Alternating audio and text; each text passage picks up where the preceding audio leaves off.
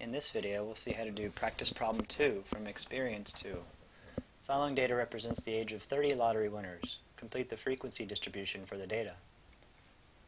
We just want to count how many numbers are in each class, given by the range of numbers on the left-hand side of the table.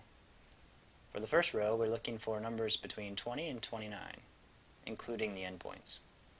Scanning through, we see 23, 25, 25, 26, that's 4, and that's it. Since they're all in order, this is pretty easy. For 30 through 39, we include the 30, 31, 34, 35, 36, and 38, which is six numbers. 40 through 49, 41, 42, 42, 43, and 45. Notice we do count the 42 twice since they're separate numbers. So that's 5. 50 through 59, we have six of those.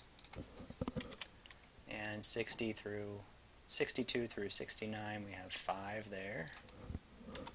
There are three in the 70s, and there's one in the 80s. And you can check that these frequencies add up to 30 to make sure that you did this correctly. 4 and 6 is 10, 5 and 5 is 20, and 6, 3, and 1 gives us 30. So we pretty sure we have the right answers.